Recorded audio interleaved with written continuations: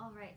Hello everyone and welcome to Discovery Reading. My name is Marie and today I am sitting in front of our beautiful butterfly display because we are going to talk about uh, different kinds of pollinators and pollination. We'll mostly be talking about bumblebees today, but we, I will talk about a few other kinds of pollinators today.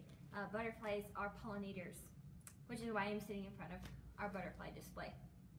Okay, so the first book we're going to read is called The Bumblebee Queen by April Pulley Sayre and illustrated by Patricia J.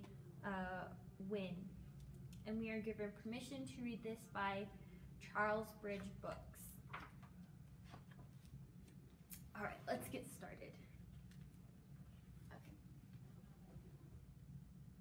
The Bumblebee Queen begins the spring below ground and all alone. Bumblebees are native to North America, South America, Europe, and Asia. There are 250 bumblebee species.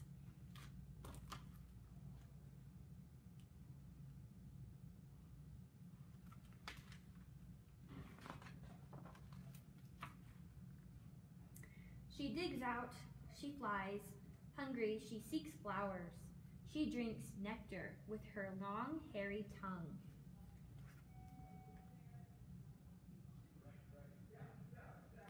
So there's her very there's her long tongue right there. Bumblebees have very, very long tongues so that they can drink the nectar from the flowers. We'll talk about the difference between nectar and pollen in a second. She begins to search behind the barn, beyond the lake. She buzzes around the bushes, between the fields. Bumblebees rarely sting, but they will sting in defense and can sting more than once.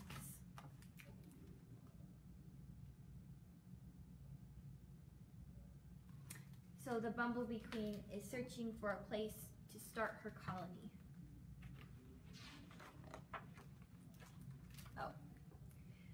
She is looking for a place to build her colony. A puddle? No. A bush? No. An old mouse nest? Yes. Bumblebees nest in the ground or in sheltered, mossy, grassy places such as old mouse nests or abandoned birdhouses. Queens have even nested in teapots.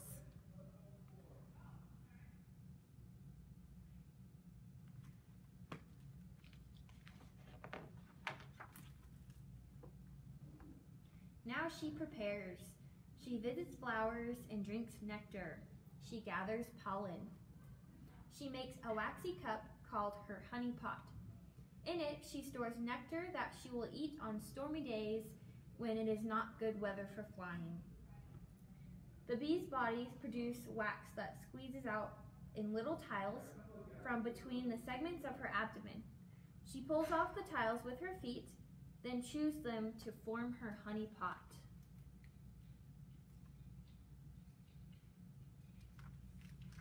So the queen, the nectar, I mean, sorry, the wax comes from the queen's body, then she chews it up, and she uses that to make a, this honey pot right here. Let's learn what the honey pot is for. She forms some of the pollen into a lump. She lays, she lays eggs in it and adds a wax covering. After the eggs hatch, the queen chews a small hole in the wax covering and pushes food to the larvae. So, can you guys see that? Yeah. So the queen is making a little, kind of like a little nest, I guess, for her eggs, which are also called uh, larvae. So she lays her eggs in the honey pot, or So she makes a little wax covering for her eggs and then she keeps nectar in the honey pot. In five days, the eggs hatch. They are lumpy, plump larvae. No buzzing, no flying, just wiggling. So the larvae look like little, kind of like white worms a little bit. And those will turn into bumblebees. The larvae eat pollen. The queen brings more. The larvae grow, wiggling and chewing. As the larvae grow bigger, the wax covering cracks. The queen repairs it and enlarges it. So there's the wax covering that is covering the larvae and it's keeping them safe. And as the larvae are growing, um, the wax cracks and the queen will repair the cracks with more wax.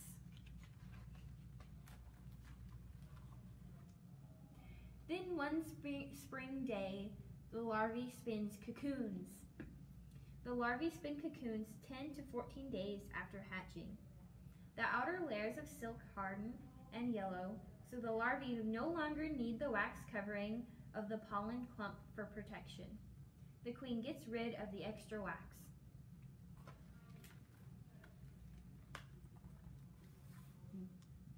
So because the larvae are spinning, they're spinning their own little covering so that the queen doesn't have to keep making the wax bigger and bigger. Let's see. But the queen bee keeps working. She collects nectar, she gathers pollen, she lays more eggs. In between her other duties, the queen snuggles up to the new eggs. Heat from her body goes through a goes through a bare patch on her abdomen to warm the eggs. It's kind of similar to what birds do. They sit on their eggs to make them warm. The bee is also doing the same thing, kind of. She's laying on top of her eggs to keep them warm. And she's able to do that because she has a bare patch on her abdomen, which is that, her um, abdomen is that part right there.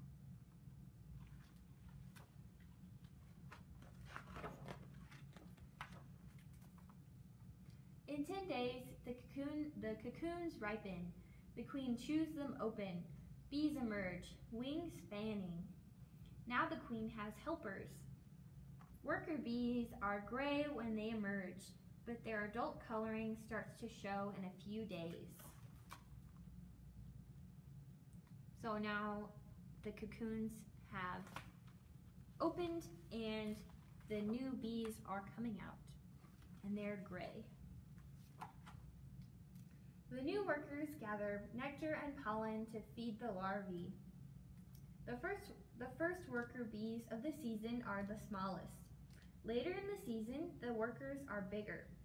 This may be partly because as the colony grows, more workers can gather food for the larvae.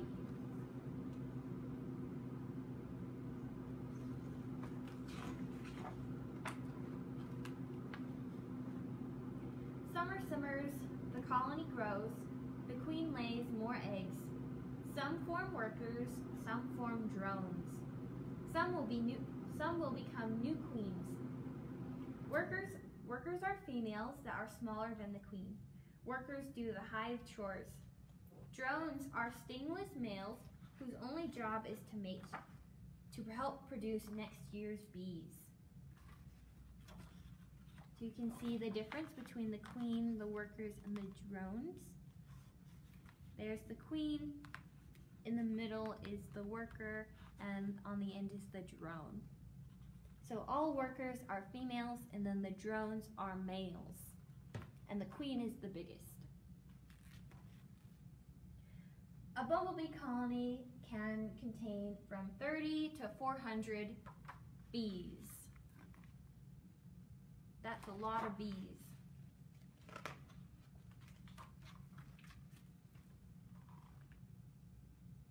In fall, nights chill and flowers shrivel. New queens and drones emerge from the hive. Scientists aren't sure what signals an egg to become a queen or a worker.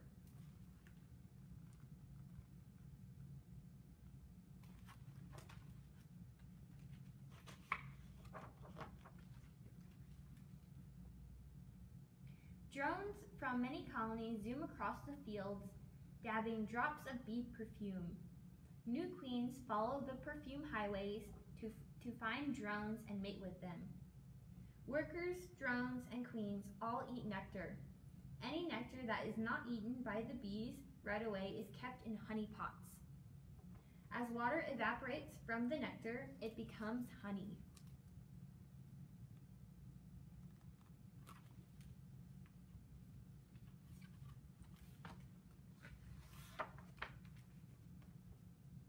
The new queens drink nectar, search for soft earth, then dig down to wait for spring.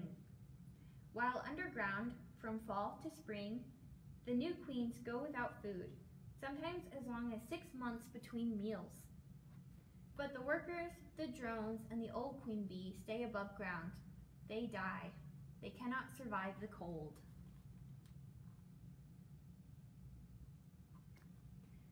So the new queens, they dig in the ground and to keep themselves safe from the cold weather of winter and they wait until it's spring and when spring comes then the new queens will uh, crawl out of the ground and uh, start to build their own colony. Old bee, queen of the bumblebees, won't see, won't see next spring come, but her daughters, the new queens, will fly across the fields and build colonies of their own. In northern Canada, the entire bumblebee season is only a few weeks long, but in the southern United States, colonies may last for many months. Near the equator, bumblebee colonies may live year-round.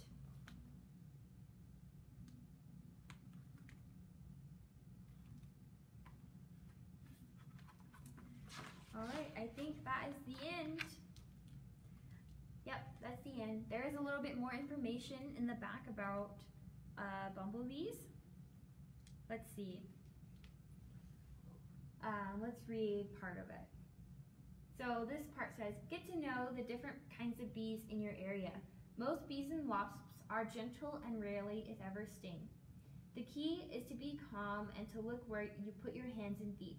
If you are, if you are observant, you will notice holes uh, in the ground where bees or wasps come out and go regularly. regularly. Avoid these places, which bees or wasps are likely to defend. It's safer to observe bees and wasps, wasps feeding on flowers. Let's see. And we'll read another short paragraph. Well, we'll read this section right here. There's almost 4,000 kinds of bees that are native to the United States. Yet the bee that most people know, the honeybee, is not a native species. It was brought here by European settlers Honeybees are used to make honey and pollinate crops. Native bees pollinate many plants that honeybees do not. Bumblebees pollinate by a special, by a special process called buzz pollination. When a bumblebee flies, its hair builds up stat a static charge. It enters the flower, grabs one of the flower's anthers, and uh, the, the bumblebee shakes the anther and makes a loud buzzing sound. The pollen, shaken from inside the from inside the anther, is attracted by the electrostatic charge of the bee. So it jumps a short distance and sticks to the bee. Honeybees cannot pollinate egg eggplant and tomato flowers. Uh, bumblebees can. So whenever you eat a tomato, think a bumblebee. All right, so that's pretty cool. that's pretty cool. Um, it was talking, so it was talking about a way that uh, bumblebees pollinate. So they build up static on their body, and whenever they go inside a flower, the pollen is attracted to the to the bumblebee because um, they have electricity. They have a little static charge on them. So that's pretty cool. Um, yeah, so that was called the Bumblebee Queen.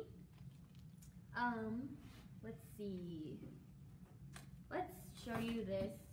Um, I have a wasp's nest with me, um, but it's kind of similar to a bumblebee hive. Um, here's the wasp's nest. Um, so bumblebees will also make the, um, I I, guess honeybees do. Um, honeybees will make the um,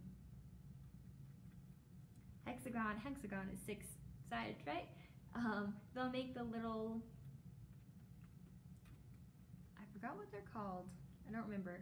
If anybody knows what these little things are called, the comb. Yes, they'll make the comb and um, they'll put the honey. Honeybees will put the honey in it, and um, yeah, that's part of their the the honeybees hive. Uh, but this is a wasp nest. It's a little bit different. Um, you can see this is the outside of it. This is the inside. Yeah, pretty cool that wasps and bees are able to make make things like this. All right, we'll put this back. And let me show you this really fast. Here are some, I think this is mostly wasps, but there might be a couple of bees in there. I think that maybe this one might be a bee right here. I'm just guessing. I think it's a bee, but I'm not 100% sure. Mm, let's see. I'm guessing, I think this one may also be. Again, not 100% sure, but they're just really cool to look at. Bees and wasps, wasps are very closely related, so that is why they look similar. All right, let's see. I'll tell you one more cool thing about bees. Um, actually, I'll save it for the end. I'll save that for the end. And let's just go ahead and read our next book, which is called Pick, Pull, and Snap, Where Once a Flower Bloomed by Lola M. Schaefer and illustrated by Lindsay Barrett George. And we're given permission to read this by uh, HarperCollins Publishers. All right, let's get started.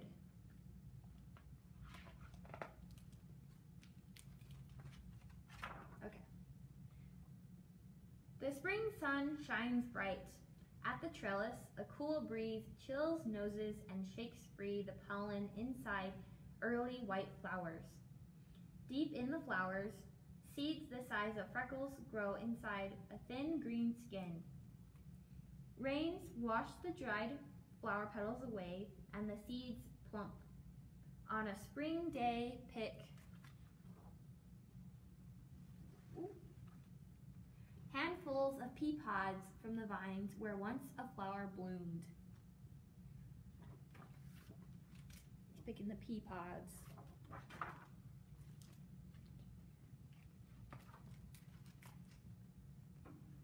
In the berry patch, bumblebees zigzag from blossom to blossom, spreading pollen inside delicate white flowers, no bigger than a fingertip. Deep inside the flowers, hard seeds grow in bits of fruit that form a cluster. The flowers curl and blow away, and in a few weeks, the fruit turns red in the warm sunshine.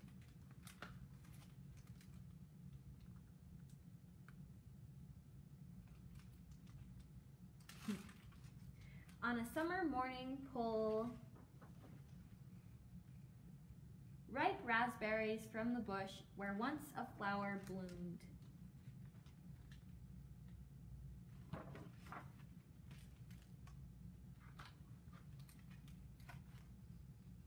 In the field, wind waves golden tassels high above heads, and pollen floats through the air to the, skill, to the silks of a flower. Inside the husk, hundreds of pale seeds grow side by side. The silks of the flower shrivel and brown, while the seeds fill with, fill with a milky juice.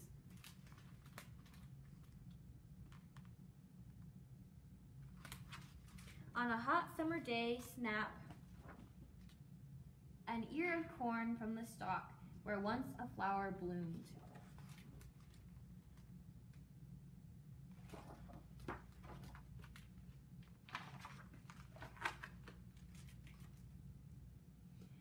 Orchard, a honeybee buzzes from tree to tree, flying in and out of blossoms.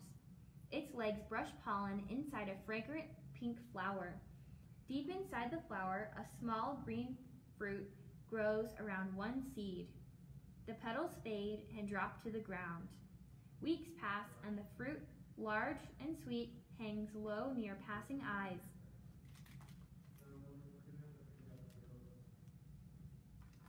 On a late summer day, twist a fuzzy peach from the tree from the tree where once a flower bloomed.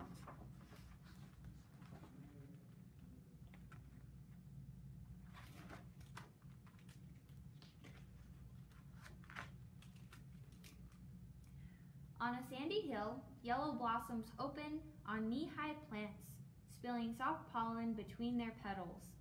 At evening, they close and wilt.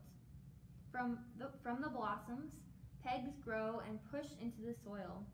Underground, the tips of the pegs become stiff shells, each holding two seeds wrapped in a red skin.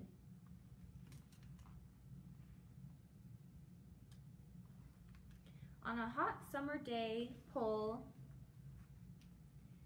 hidden peanuts from under the bush where once a flower bloomed.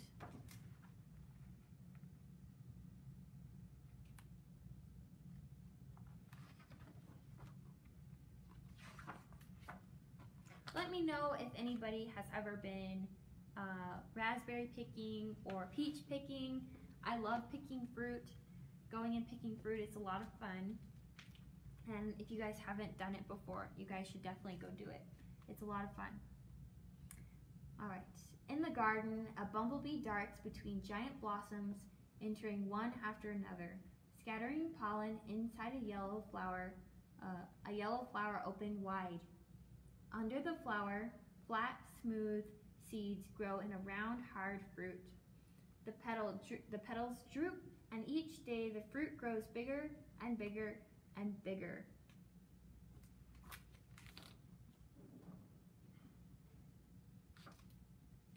On the last day of summer, roll a heavy orange pumpkin from the vine where once a flower bloomed.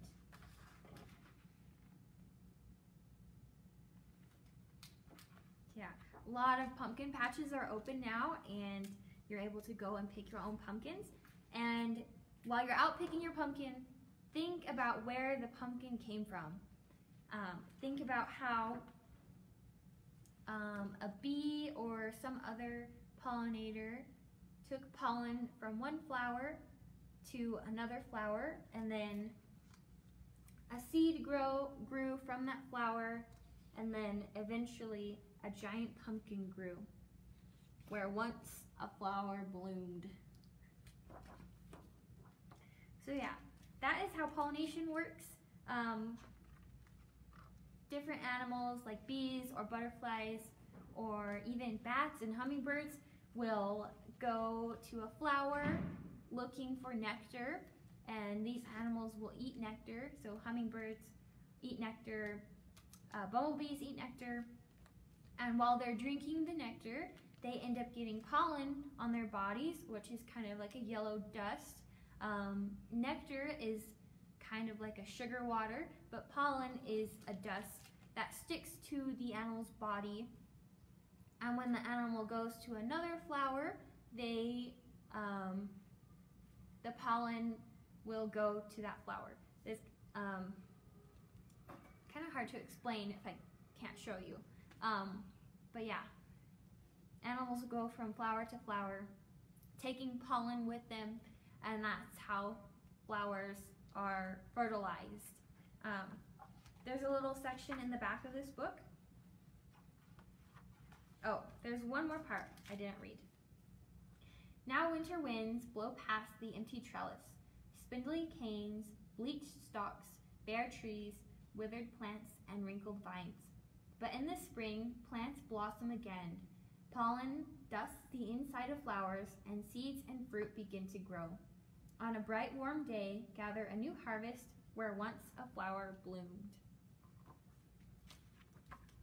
Yeah, that's a nice little book. There's some more in the back, back here. I'll read a little bit of it. Every seed or fruit begins in a flower. A bee enters a flower looking for food called nectar.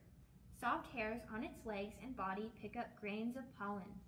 Then the bee flies to another flower and carries the pollen with it. Some of the pollen falls off the bee's body and into the second flower. This is called pollination. Deep inside the flower, the pollen reaches a part of the plant called the pistil. This is called fertilization. After a flower is fertilized, seeds and fruit begin to grow. Bees are just one type of pollinator. Beetles, flies, ants, butterflies, hummingbirds, and bats can be pollinators too. Sometimes pollen is carried from one flower, from flower to flower by wind or water. Other flowers, like the tomato and the peanut, pollinate themselves. In those plants, the flower's pollen ripens and falls into its own pistil, and the seed begins to grow. So yeah, the book explained pollination a lot better than I did. Uh, yeah, that's pollination and fertilization.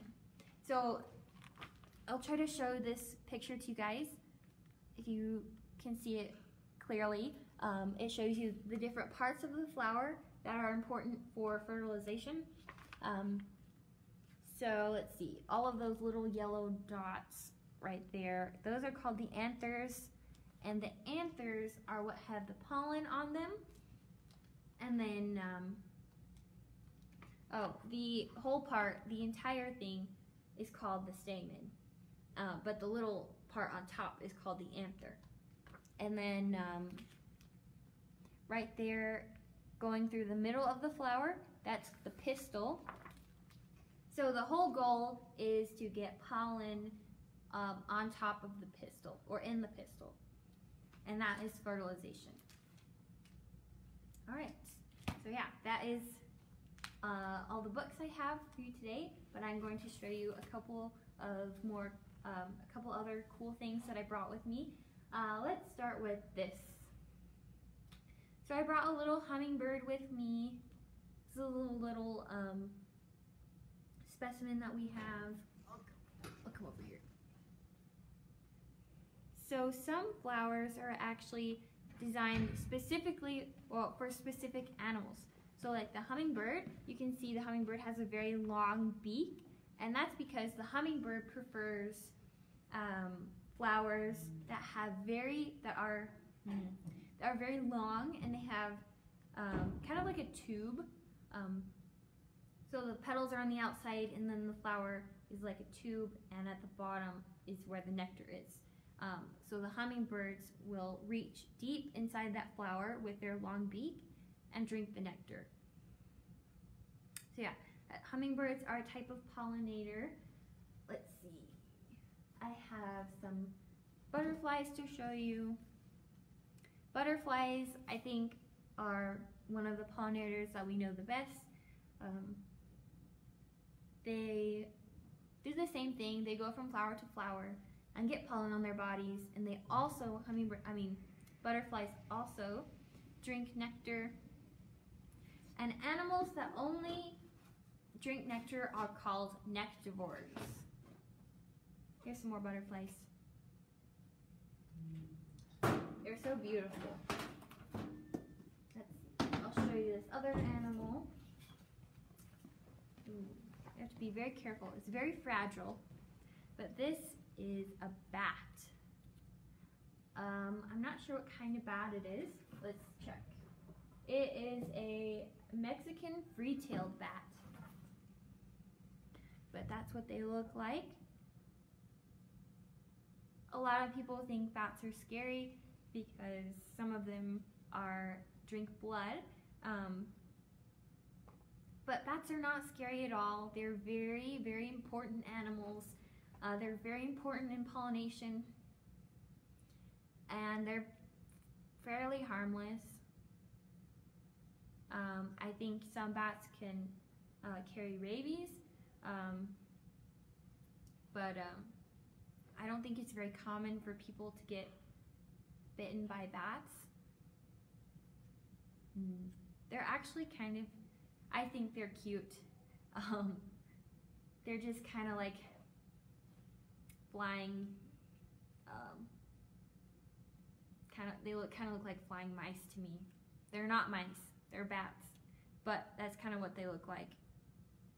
And bats are the only mammal that can actually fly.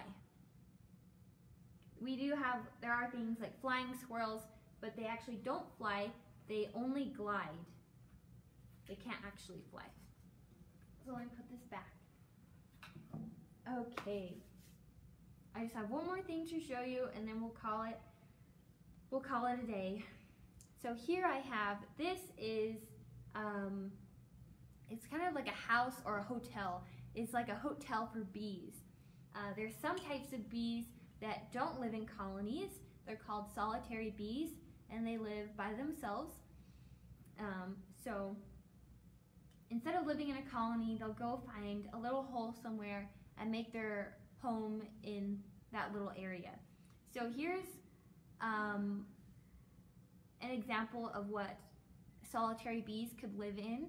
Um, it, we call it a bee hotel. Um, one of our educators made these uh, during our summer camp last last summer, and uh, we were able to decorate them, and then we took them home and put them in our backyards uh, to, uh, for the, all the solitary bees that needed a home. So it was a fun little activity that we did in our summer camp last summer. Yeah. So if you well, if you want to, you could make your own bee hotel. Just drill some holes in a piece of wood and stick it in your backyard and that will make a really good home for some solitary bees. And solitary bees are very, they're harmless. They're not really aggressive because they're not guarding anything. They're not guarding honey or nectar. Um, so yeah, they don't have anything to guard, so they're not aggressive.